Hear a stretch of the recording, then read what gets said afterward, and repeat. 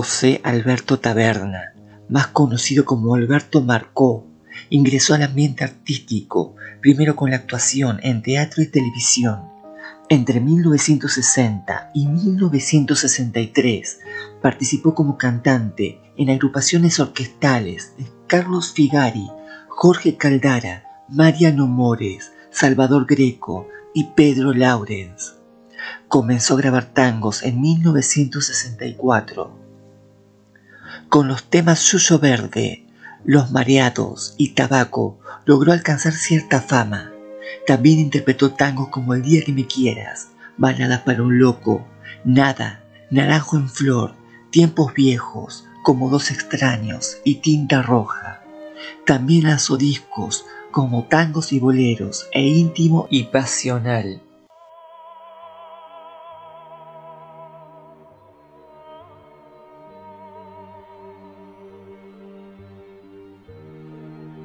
El 8 de diciembre de 2005, el día que cumplía 65 años. Mientras se arreglaba un electrodoméstico con los pies descalzos, sufrió una descarga eléctrica fatal en su casa de Casetames, en el barrio de Palermo, en Buenos Aires. Nada se pudo hacer para salvarlo.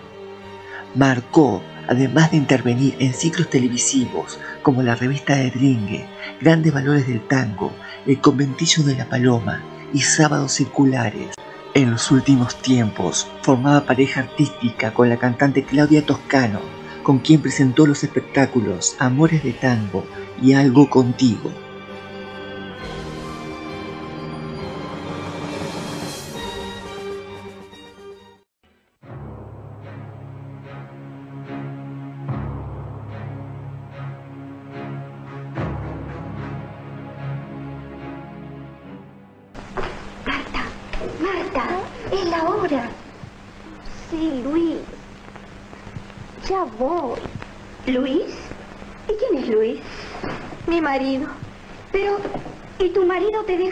De noche? Sí, querida. Hay que vivir. La modelo y actriz francesa Ana María Casán brilló en su breve carrera tanto en su país como en Argentina, donde se radicó desde 1950 hasta 1958 Destacándose en el cine, en ese sentido, personificó damitas jóvenes inocentes y graciosas, como en la película Ensayo Final, dirigida por Mario Lugones, protagonizada por Alberto Crozas, Nelly Paniza y Santiago Gómez Q, que le valió el premio a la revelación femenina otorgada por la Asociación de Cronistas Cinematográficos de la Argentina, galardón que fue objetado por la Asociación Argentina de Actores, ya que la actriz tuvo que ser doblada por la actriz Nina Nino debido a su fuerte acento francés. Otras películas en las que intervino fue Al sur del paralelo 42 con Rolando Chávez y Noemí Lacerre, Cubitos de hielo junto a José Cibrián y Ana María Campoy, Enigma de mujer con Ana Mariscal, El diablo de vacaciones, Continente Blanco y La cita con la vida. En 1960 viajó a París para su última película titulada Pantalascas, dirigida por el cineasta Paul Pariot. Se mató el 12 de septiembre de 1960 en su hogar en Francia, tras consumir altas cantidades de sedantes. A sus 24 años no pudo superar un profundo cuadro depresivo que la venía quejando. Su causa nunca fue esclarecida aunque se la relacionó con su romance con el director de su última película.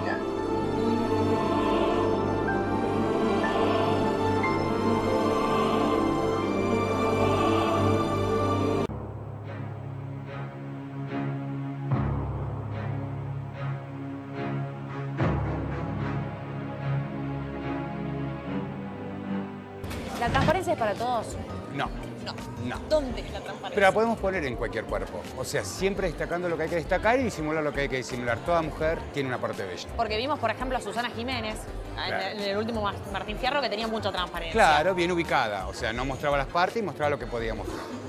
¿Hay un conocimiento previo? Eh, sí, en la atención al cliente. ¿Es complicado con no, los no, clientes? no, no. Eh, lo que pasa es que el espejo es el que te da la realidad de todo.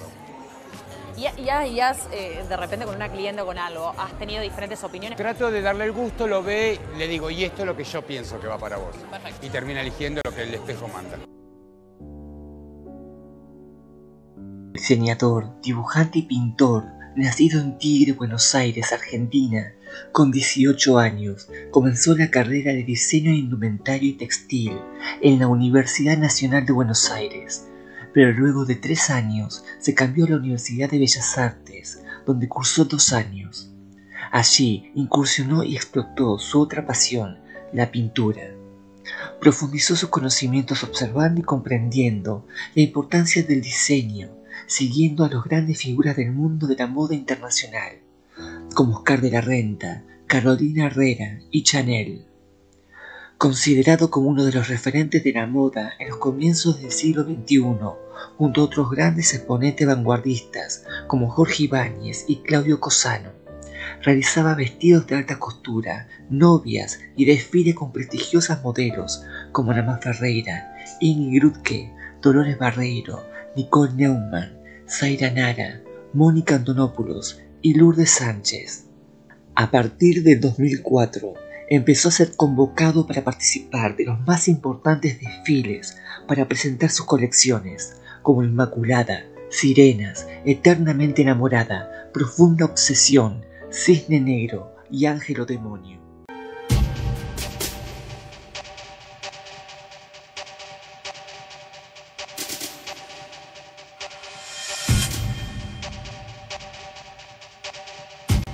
El 4 de diciembre de 2015, luego de volver de un desfile en Miami, Estados Unidos, junto a Manuela Vidal Rivas, se acostó a dormir en su casa en Buenos Aires. Fue encontrado sin vida por su pareja Alejandro. Murió producto de un paro cardiorrespiratorio a consecuencia de un coma diabético. Arbina tenía 42 años.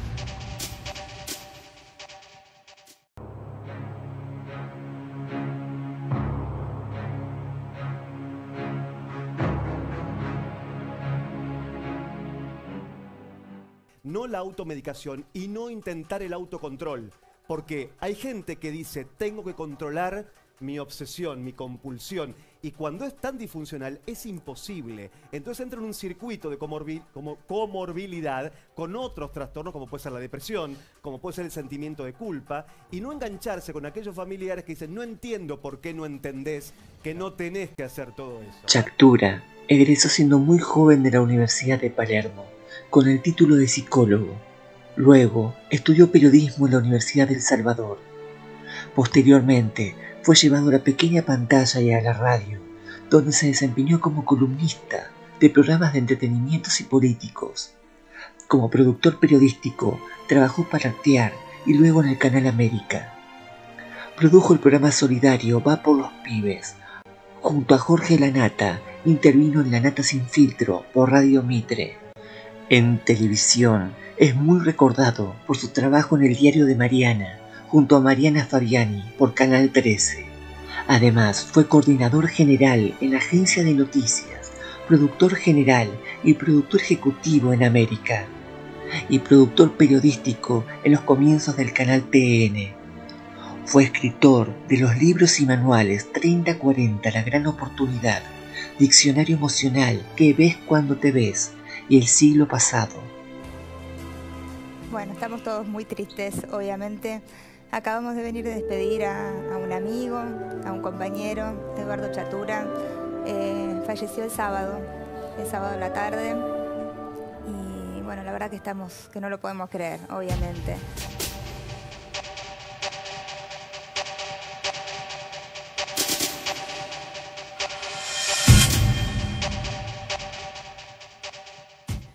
Que a los muertos queridos se los llora. Y lloramos a Eduardo. Conteniéndome, solamente quiero decir que Eduardo era una gran persona. No me importa cuántos libros escribió ni cuán éxitos hayan sido sus programas. Era un tipo que le gustaba disfrutar la vida y que estaba siempre componiendo situaciones. A él no le gustaba que nadie estuviera tenso con nadie. El 7 de marzo del 2015 almorzó en la casa de su ex mujer Alejandra junto a su hija Mía, las hijas de su expareja Macarena y Valentina y su ex suegra. Pasado el mediodía, comenzó a sentirse mal y se descompensó. De inmediato fue trasladado a la ambulancia al hospital más cercano, donde sufrió un paro cardíaco. Los médicos que lo asistieron no pudieron salvarlo. Eduardo Chactura tenía 43 años.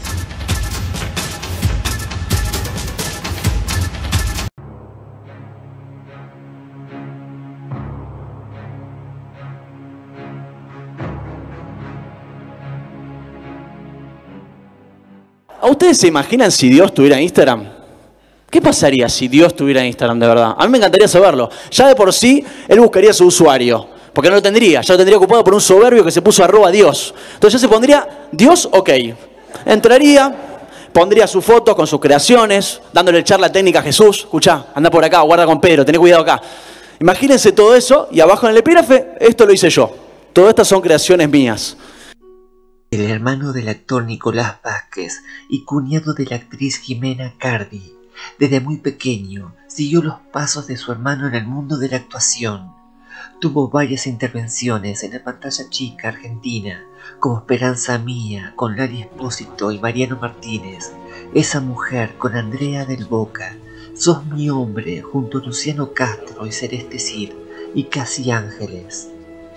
En teatro, actuó en la obra El Canasto, que dirigió su hermano y se convirtió en una obra de culto entre los adolescentes. Gracias a su carisma, empezó a incursionar en el mundo del stand-up, que se emitió por Comedy Central. Además, fue el protagonista de El Hermano de, una serie web dirigida precisamente por Nicolás Vázquez. Tuvo su momento mediático por ser pareja de Candela Ruggeri, hija del célebre futbolista Oscar Ruggeri. El sábado 10 de diciembre del 2016 había oficiado de maestro de ceremonias en la boda de su hermano Nicolás con la actriz Jimena Cardi en la ciudad de Mar del Plata. A pocos días viajó de vacaciones junto a sus amigos Belo Lucius y su novio Javier Ortega Decio y la hermana de ella, Emily Lucius, a Punta Cana, en la República Dominicana.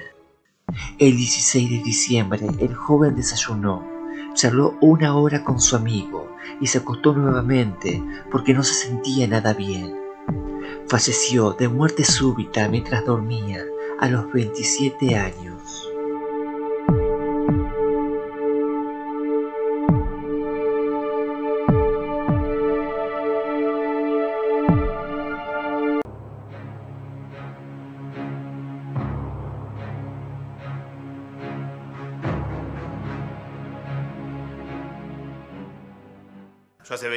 De años que escribo y escribí para muchas personas como Gasalla, Franchella, con Cifrón, con Borestein y toda gente de la que aprendí mucho y siempre escribí y me adapté a ellos.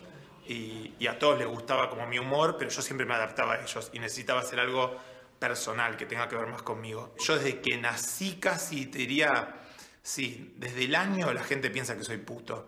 Y lo interesante acá es que yo no soy puto, pero que sí todos me ven. De hecho, yo también me veo puto, pero no Nacido en Nueva York, Estados Unidos, el 6 de enero de 1970, comenzó como actor de reparto en el teatro infantil. Luego, escribió sketch en programas como Díceme cuál es tu nombre, Pone a Franchella, La cajita del Social Show, algunos capítulos de Casados con Hijos y en tiras como Amor Mío, Citas Ciegas y Malandras. Junto a Damián Schifrin fueron guionistas de la serie Hermanos y Detectives en su versión para la televisión española. Como actor, intervino en ficciones como Rincón de Luz, Los Bucas de Siempre, Mi Cuñado, Los Secretos de Papá, Los Roldán, Quién es el Jefe y Alma Pirata. En cine, Trabajó en la película Habano y Cigarrillos, con la dirección de Diego Recalde. En sus últimos años se dedicó de lleno a la docencia teatral. Su última actuación teatral fue en la obra Copycat. Trabajó como actor de comerciales, como Onda Miami, Network en España, McDonald's y Mastercard. Este, porque en la terraza la policía encontró la escalera, que en realidad lo que parece que él hizo fue querer limpiar a la una de la mañana, se puso a limpiar porque él era de de golpe. Sí, de golpe, sí, estaba, estaba viendo la televisión y pararse algo de golpe así. Y parece que fue a limpiar unas hojas de un, como un sobretechito que había en, en- en la terraza ahí, como un sobretecho. Parece que él subió a limpiar esas hojas o algo así, o las ramas. Fernando, está en la causa esto. A ver, en la causa dice que el cuerpo que se encontró estaba lleno de ramas. Y, Claro. y- y hace mención a esta terraza que vos decís. Está en la Sí, sí, sí, causa. sí, sí. Claro, claro, parece que él quiso limpiar las ramas, porque seguramente, porque habían árboles que daban siempre a la ventana, al- él me decía, a veces, "Uy, tengo que sacar esa rama, qué es eso. ¿Él en qué piso vivía? Eh, Quinto piso. Quinto piso. Era un quinto piso, era como una, estaba al lado de la terraza, había como una terracita y al lado estaba el departamento. Ah, ajá. Era un quinto piso sin ascensor de, de- de la casa de él. Y él Bueno, entonces se descarta cualquier tipo de Sí. tristeza, depresión, Es algún que tipo no, de conflicto. yo había hablado con él hacía creo que cuatro o cinco días antes de, es más, de laburo, de cosas, me pidió un teléfono.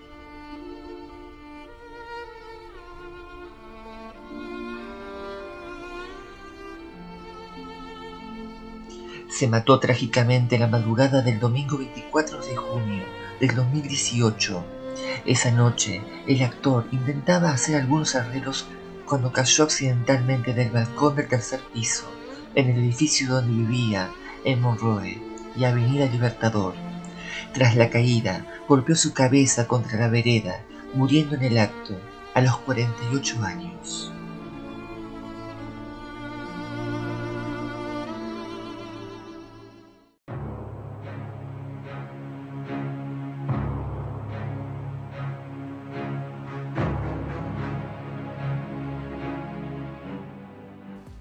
Vamos a hablar del tema de la inflación. ¿Por qué? Porque es uno de los grandes temas de la Argentina. Y a mí me preocupa el tema de que efectivamente no sepamos bien qué es lo que está pasando con la inflación. Argentina ya oficialmente es la cuarta inflación más alta del mundo. Estamos junto con Sudán, Venezuela, Zimbabue y Argentina. Estamos entre las inflaciones más altas del mundo. El tema es, ¿la inflación es buena o es mala? Es claramente mala, pero vamos a ver, primero, ¿quién es el responsable de la inflación? Porque acá hay un gran debate. Y ustedes lo que me han escuchado, me han visto en los debates en televisión, soy, digamos, claro a esto. Vamos a la siguiente placa.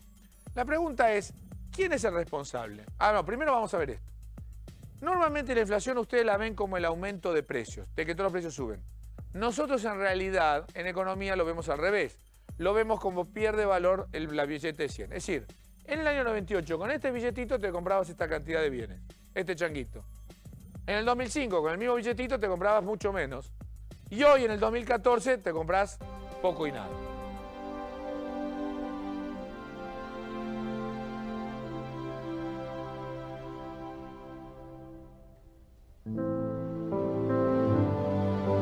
El economista, periodista y docente Tomás Bulat fue funcionario de PAMI durante la gestión de Fernando de la Rúa y asesor de Margarita Stolbizer y Ernesto Sanz. Formó parte del gobierno de la Alianza, siendo administrador del Fondo de Capacitación, FONCAP, que dependía del Ministerio de Desarrollo Social. Fundó su propia consultora en el 2003 y publicó libros como La economía de tu vida y La economía descubierta. Condujo su propio programa periodístico, El Inversor, emitido por Canal 24. En el 2013 recibió el premio Martín Fierro de Cable 2013 a la mejor conducción periodística masculina por su actividad en C5N y A24 y en los programas El Cronista Televisión, El Diario, El Resumen a la Medianoche y Resumen Central. Entre otras cosas, fue asesor de la Comisión de Presupuestos y Hacienda del Senado entre el 2003 y 2005 y asesor en el 2007 de la legislatura porteña de Sergio Guevara. También se desempeñó como economista del Consejo Económico y Social de la Cava, que presidió el ex legislador en el plano académico. Dictó clases en la UBA, en la Universidad de Palermo, en el Instituto Nacional de la Administración Pública y en el Colegio de Buenos Aires. reconstruirse del siniestro, el Peugeot 408 con el que viajaba Bulat embistió la parte trasera de un camión cuando avanzaban los dos vehículos por el carril derecho, mientras el conductor del remis sufrió apenas heridas leves. Murió en la madrugada del sábado 31 de enero del 2015 en un trágico accidente de tránsito en el kilómetro 195 de la autopista Rosario, a la altura de la ciudad bonaerense de Ramallo. En ese momento, Bulat viajaba en la parte trasera de un Peugeot 408 que funcionaba como remis y en el que viajaba a Buenos Aires, tras haber dado una conferencia en San Jerónimo, provincia de Santa Fe. De acuerdo a los primeros informes que se hicieron, el coche emitió por la parte trasera un camión que circulaba en el mismo sentido. Como producto del impacto, se produjo un latigazo en el cuerpo de Tomás, quien tenía puesto el cinturón de seguridad a la altura del abdomen, y la posterior fractura de las costillas, lo que le provocó la muerte en el acto. El chofer de remis solo sufrió heridas leves.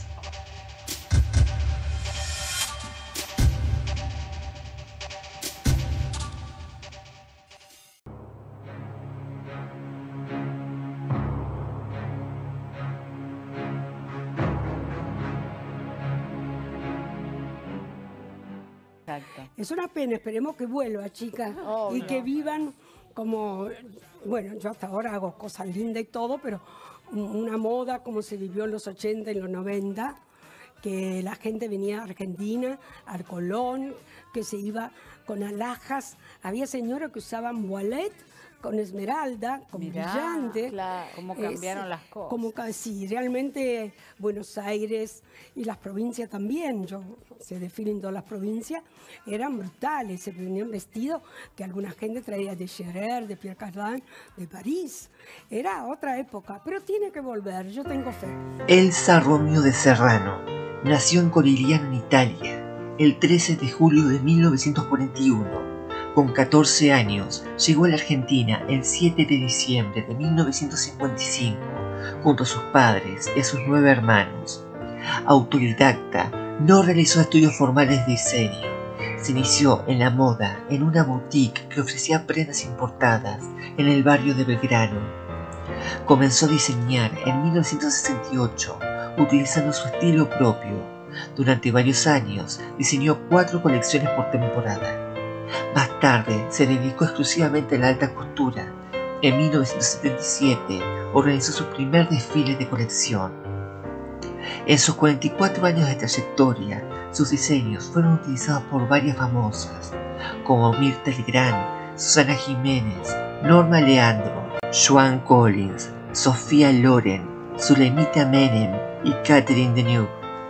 Se destacó en el vestido de novia de Claudia Villafañe en su casamiento con Diego Maradona. Se la vio por última vez en televisión en el programa Corte y Confección conducido por Andrea Politi, donde hizo de jurado.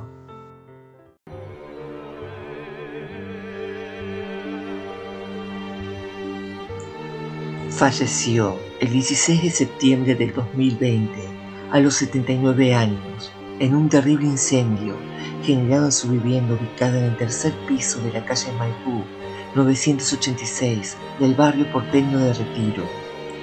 Tras un cortocircuito en el aire acondicionado, desató un incendio en el cual provocó la muerte de la diseñadora por asfixia tras inhalar monóxido de carbono.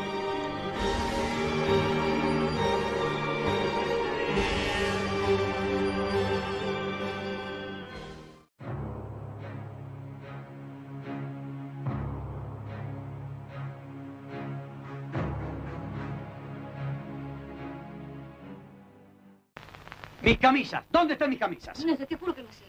Pero ¿y a quién tengo que preguntar? Es que la muchacha... Me ah, importa un pito la muchacha. Sos vos la que tiene que dirigir la casa, en vez de salir todo el día. No tenés derecho. Ah, ¿te parece que no tengo derecho? Esto es el colmo. Yo mantengo la casa. Con lo que yo gano basta y sobra.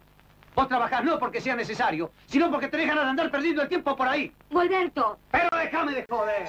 El actor rosarino, nacido el 16 de febrero de 1933, en la década del 50, brilló como galán en cine, radio, teatro y televisión. Con Gina Lousek formaron una de las parejas artísticas que más brillaron en el cine, como con una cita con la vida y he nacido en Buenos Aires. En televisión, debutó con Amor a Si bemol en 1959. Luego vinieron otros éxitos como Tres Destinos, A mí me pasan todas, Matrimonios y algo más, Nino, Sacrificio de Mujer, Señorita Andrea, Aquí llegan los Manfredi, Amigos son los amigos, Gino, Maridos a domicilio, Contrafuego y Son de Fierro. En la pantalla grande argentina.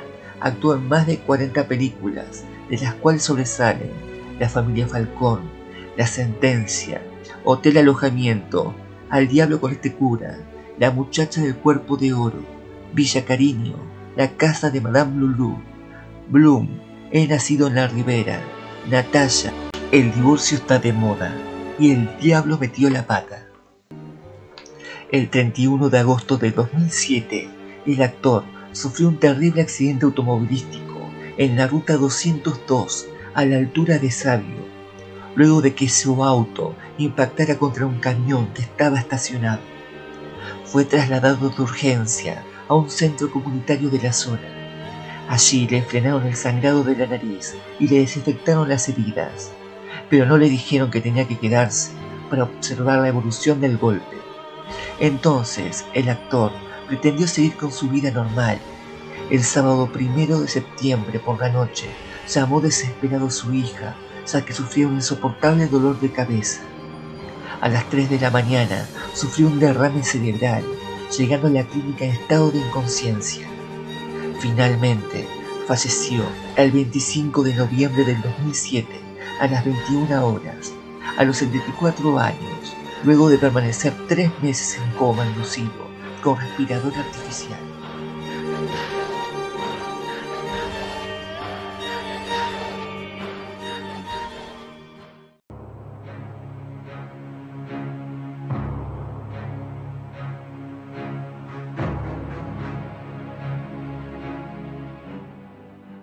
Dice que va a pasarlo por su oreja y que no lo realicen en sus casas porque es muy peligroso. Aborrecide.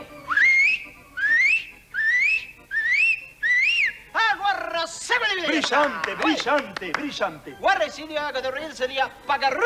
Dice que el participante Esteban, o sea... Sí, sí, sí. Lo tome al pelo con su mano. Con esa, sí. Ahí va, ahí va, ahí va, ahí va. Ahí va. Y que tire. ¡Ay, ¿Qué dice? Dice que usted tiró muy fuerte. ¡Ay, ay, ay, ay! ¡Qué pago trucho! El actor tucumano, nacido el 15 de enero de 1966, egresó como licenciado en teatro de la Universidad Nacional de Tucumán. Se inició como mimo y clown para el público adulto e infantil. Posteriormente, se incorpora al popular grupo humorístico llamado Los Prepus, originado en 1989 e integrado por Sebastián Rosso, Daniel Campomenosi y Pepe Lozano. La oportunidad de radicarse en Capital Federal se la dio su padrino artístico, Víctor Laplace. Trabajó en televisión, como estrellas como Tato Bores y Reina Rich, en programas como Estudio 13, Tato en América, Good Show, Si te reís perdés con Claudio Morgado y Reina en Colores. En cine, filmó un cortometraje dirigido por Javier Garrido, mientras que en teatro se lució en obras como Locos, Nuestra Matinal Televisión, Cría Cuervos y Te Comerán los Locos, La Temperamental, Lo Mejor de los Prepus, Los Prepus de Montevideo, Carlos Parciavale y los Prepus, Los Prepus de Prepo, y Yo Soy Colores, nuevamente con Reina Rich. Esteban Arana falleció trágica y misteriosamente el 15 de enero de 1996, el día que cumplía 30 años. Al parecer Esteban llegó a una playa de Camet, ubicada a 5 kilómetros de Mar del Plata. Luego de una noche de euforia, tras festejar su cumpleaños, mientras caminaba por esa zona, se resbaló de manera accidental y golpeó fuertemente su mentón contra una roca, por lo que cayó de forma inconsciente al agua. Murió ahogado al borde del mar con tan solo 40 centímetros de agua.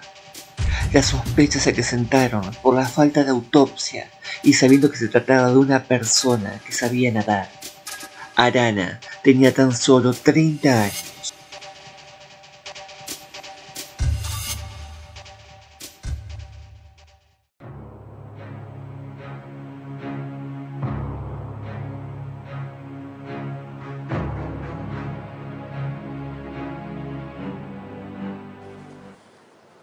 ¿Qué te pasa, Córdoba?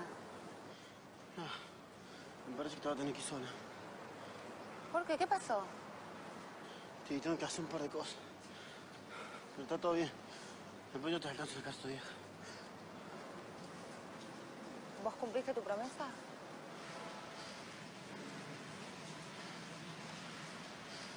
No.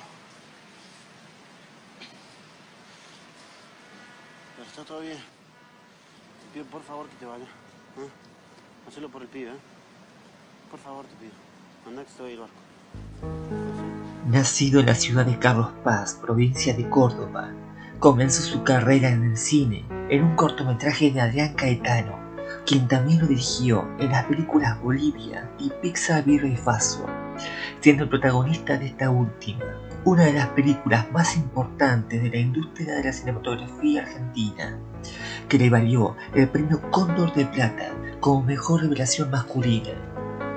También trabajó en las películas Cuesta Abajo, La Furia con Diego Torres y Laura Novoa, Mala Época, La Expresión del Deseo, El Camino, Herencia con Rita Cortese y el corto Los Hermanos Ramundo deben morir. En televisión participó de las tiras RRDT, Gasoleros, Campeones de la Vida y 22 Ser Loco, todas ellas por Canal 13. Se despidió en Telefe con el personaje de Rubén, el amigo de Celeste Cid en la ficción Enamorarte. Héctor Angrada se mató trágicamente el 2 de marzo del 2002, atropellado por un colectivo de la línea 318, mientras iba en una moto con otro joven actor, Juan Manuel Mendive, de 19 años, por la rotonda Los Pinos, en el cruce de las avenidas Hipólito Yrigoyen y Monteverde en Bursaco. El colectivero Ramón Salazar, que se escapó sin ayudarlo y estuvo un año prófugo, fue condenado el 20 de diciembre de 2004 a tres años de prisión, aunque quedó en libertad porque el delito de doble homicidio culposo agravado es descarcelable.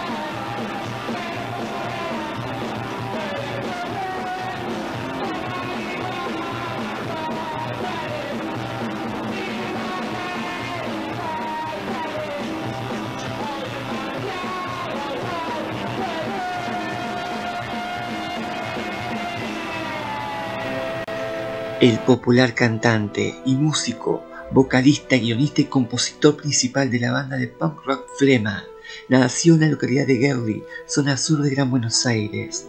En febrero de 1981 aprendió a tocar la guitarra y en 1982 se incorporó como segundo guitarrista del que fue su primera banda, Stress, junto a Chucho en bajo y voz, Bati en primera guitarra y el enano en batería, con la que interpretaron canciones como Pescado Rabioso, Box Day y otras bandas de rock argentina. Con la incorporación de Mariano Braco como vocalista, la banda cambió de nombre a Armagedón, con un estilo definitivamente heavy metal que hacía covers de U8 y Papo.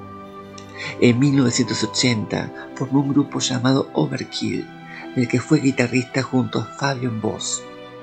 Tiempo después, Ricky conoció a Juan Fandiño y se incorporó a Flema, una de las bandas de pop rock más famosas de Argentina durante la década del 90, editando discos como Acceso y o Abuso de drogas y alcohol es perjudicial para tu salud, Cuídate, nadie lo hará por vos, de 1994, Nunca nos fuimos, de 1996. Si el placer es un pecado, bienvenido al infierno, de 1997. Resaca de 1998, La Noche de las Narices Blancas del 2001 y Caretofobia del 2000 y 2001. Pasadas las 21 horas del 30 de mayo del 2002, después de grabar junto al guitarrista Luis Gribaldo para el álbum 5 de Copas, ambos volvieron a la casa de Luigi, ubicado en el quinto piso del monobloc de Avellaneda. Allí estuvieron bebiendo y en un momento de la noche, Ricky cayó por una de las ventanas. Fue auxiliado de inmediato, pero falleció en la ambulancia camino al hospital. Si se suicidó o simplemente perdió el equilibrio es algo que aún no se pudo esclarecer.